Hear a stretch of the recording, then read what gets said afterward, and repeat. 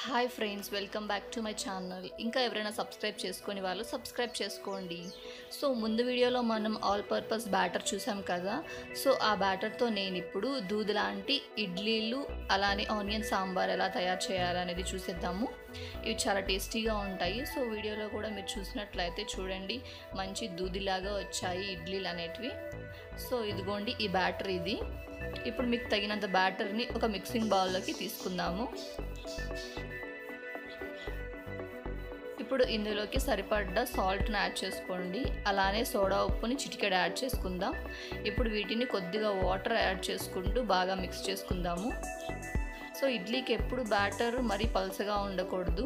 కొంచెం చిక్కగానే ఉంటేనే ఇడ్లీ అనేటివి బాగా వస్తాయన్నమాట. సో చూడండి అలా ఉండాలి.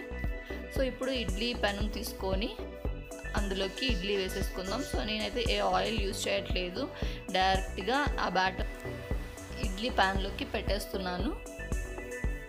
సో చూడండి ఇలాగా నేను ఒక టూ ఇడ్లీ పాత్రలోకి పెట్టుకుంటున్నాను.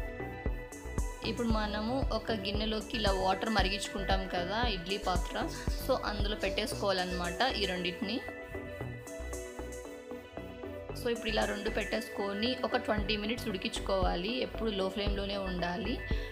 సో ఇప్పుడు చెక్ చేసుకోండి ఒకసారి. ఒక ఫోర్క్ తీసుకొని ఒక ఇడ్లీ మీద చెక్ చేయండి. సో అప్పుడు పర్ఫెక్ట్గా ఉడికిందా లేదా అనేది తెలిసిపోతుంది. సో చూసారు కదా పర్ఫెక్ట్గా ఉడికింది. ఇప్పుడు ఈ ప్లేట్స్ అనేటివి మనం పక్కన పెట్టేసుకుందాము. కొద్దిగా వాటర్ స్ప్రింకిల్ చేసుకొని స్పూన్తో రిమూవ్ చేసేసుకోవచ్చు అనమాట మనం ఇడ్లీలు అనేటివి. చూడండి ఎంత పర్ఫెక్ట్గా రిమూవ్ అవుతున్నాయో. ఇలాగా పిండి ఇడ్లీ చాలా టేస్టీగా ఉంటాయి. ఒకసారి ట్రై చేయండి ప్రతి ఒక్కరు. ఇప్పుడు ఈ ఇడ్లీలోకి ఆనియన్ సాంబార్ అనేది కూడా మనం తయారు చేసేసుకుందాము. ముందుగా హాఫ్ కప్ కందిపప్పును తీసుకొని వాష్ చేసి పెట్టుకుందాము. ఇప్పుడు ఇందులోకి వన్ కప్ వాటర్ యాడ్ చేసుకోవాలి. ఇప్పుడు ప్రెషర్ కుక్కర్కి మూత వేసేసుకొని ఇప్పుడు స్టవ్ మీద పెట్టుకుందాము. ఇప్పుడు ఫోర్ విజిల్స్ రావాలి ఇప్పుడు మనకు దీనికి.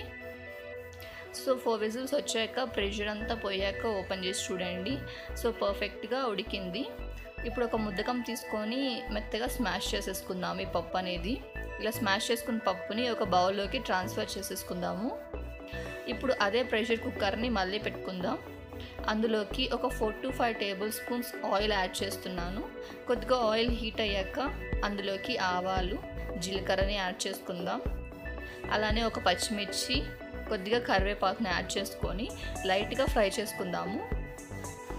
సో నేను ఇలాగ చిన్న చిన్న ఆనియన్స్ తీసుకుంటున్నాను. మనకి ఇవి బయట కూడా దొరుకుతాయి. సో ఇవి లేకుంటే మనం నార్మల్ ఆనియన్స్ అయినా కట్ చేసి తీసుకోవచ్చు. సో చాలా టేస్టీగా ఉంటాయి ఇవి సాంబార్కి. ఇవి లైట్గా ఫ్రై అయ్యాక ఇందులోకి సన్నగా తరిగి పెట్టుకున్న టమోటాలని రెండు యాడ్ చేస్తున్నాను. సో ఇవి తొందరగా మగ్గడానికి కొద్దిగా సాల్ట్ యాడ్ చేసుకుందాం. సో టమోటా అంతా మగ్గిపోయాక ఇందులోకి వన్ టేబుల్ స్పూన్ ధనియాల పొడి పసుపు పొడి అలానే వన్ టేబుల్ స్పూన్ కారం యాడ్ చేసుకొని మళ్ళీ బాగా మిక్స్ చేసేసుకుందాము. సో ఇది బాగా ఫ్రై అయ్యాక ఇందాక పక్కన పెట్టుకున్నాం కదా పప్పు ఒక బౌల్లోకి సో దాన్ని కూడా యాడ్ చేసేసుకుందాము.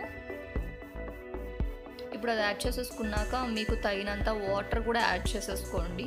సాంబార్ కొంచెం నీళ్ళ నీళ్ళగా ఉంటేనే టేస్టీగా ఉంటుంది. ఇప్పుడు బాయిల్ అయ్యేటప్పుడు వన్ హాఫ్ టేబుల్ స్పూన్ ఇంగుని యాడ్ చేసుకుందాం. అలానే చింతపండు రసం కూడా కొద్దిగా యాడ్ చేసేసుకుందాము. అండ్ ఫైనల్గా చెక్ చేసుకోండి అంత ఉప్పు కారం అంతా ఎవ్రీథింగ్ ఇప్పుడు ఒక ఫైవ్ మినిట్స్ హై ఫ్లేమ్లో పెట్టుకొని బాయిల్ చేసేసుకుందాం. సో చూసారు కదా పర్ఫెక్ట్గా కుక్ అయిపోయింది. ఇప్పుడు ఒక బౌల్లోకి ట్రాన్స్ఫర్ చేసేసుకుందాము. సో చూసారా మన తమిళనాడు స్టైల్ పిండి ఇడ్లీ అలానే ఆనియన్ సాంబారు. ఎంత ఈజీగా అయిపోయిందో. సో ప్రతి ఒక్కరూ ట్రై చేయండి. చాలా టేస్టీగా ఉంటుంది ఇలా కూడా. అండ్ నా వీడియో కనుక మీకు నచ్చినట్లయితే లైక్ చేయండి షేర్ చేయండి సబ్స్క్రైబ్ చేయండి. పక్కనే ఉన్న బెల్ ఐకాన్ కూడా క్లిక్ చేయండి.